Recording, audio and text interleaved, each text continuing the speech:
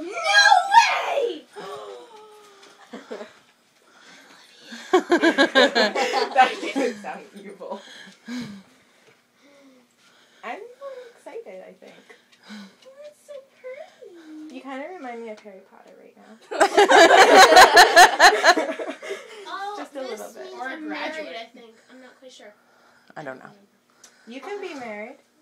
I can't remember, but like when they're open, it means either you're single or married, and when it's closed, I don't. I'll have to. Well, are you going to wear it where people know? I'm not sure. It's so pretty. I want to wear it, but I don't want to get it dirty. That sounds